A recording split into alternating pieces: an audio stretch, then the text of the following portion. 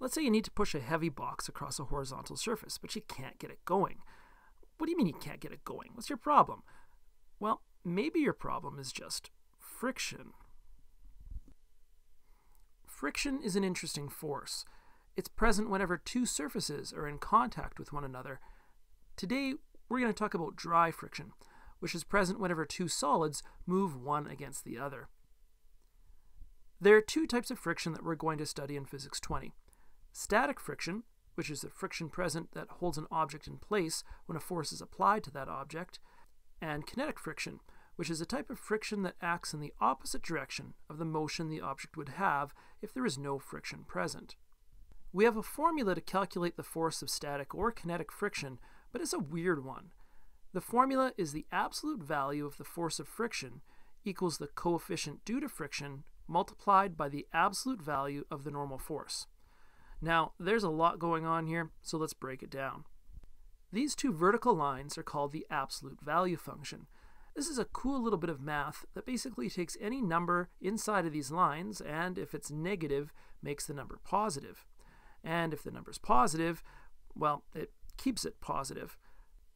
What this basically means for our purposes is that while a force can definitely be positive or negative, when we sub those numbers into this equation, we don't need to put in the negative signs, because the absolute value function will just make them positive anyways.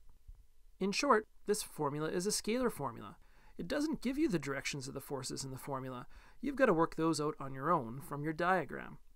The direction of the force of friction is in the opposite direction of the motion the object would have if friction were not present. The next part of the formula is the weird looking U-shaped letter, which is the Greek symbol mu. That's right, mu, just like a cat says. Mu stands for the coefficient due to friction.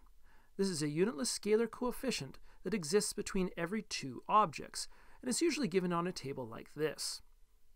There are coefficients for kinetic friction and static friction in your textbook and online. Lastly, we come to the absolute value of the normal force. In math and science, the word normal actually means right angle, or perpendicular, and if I had my way, we would always call it the right angle force. The normal force is always at a right angle to the surface the object is sitting on. If you're on a horizontal surface, your normal force is pointing straight up. If you're on an inclined plane, your normal force is still at a right angle to the surface, but now it isn't pointing straight up it anymore. You'll notice on your formula sheet that there isn't a formula to calculate the normal force. That's because we work it out from a free body diagram. If you're on a horizontal surface, the normal force acts vertically upwards on the object, while the force of gravity acts vertically downwards. This idea comes out of Newton's third law. So, on a horizontal surface, the normal force is equal to the force of gravity, but positive instead of negative. If you're on an inclined plane, the normal force will not quite be equal to the force of gravity, but we can put those two vectors together into a triangle and solve for the normal force by multiplying the cosine of the angle of incline by the force of gravity. If you'd like more details on how that works, check out this inclined plane free body diagram video. The last weird thing about this formula is that it actually gives the maximum value for the force of static friction. Here's an example. Let's say you push a 300 kilogram box across a horizontal surface with a coefficient due to static friction of 0.200. What is the force of friction acting on the box? Well, our formula can tell us the maximum value of the static force of friction acting on the box, which is 588.6 newtons. But if I'm only pushing on the box with a force of, say, 200 newtons, then the force of static friction is just negative 200 newtons. It isn't the maximum, because then friction would make the box move backwards towards me, which just doesn't happen.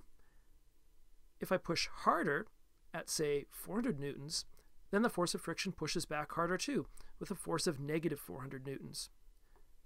The force of friction will always match me until I finally push over the maximum, say at 589 newtons. This is a little over the maximum static friction, so I can finally get the box moving.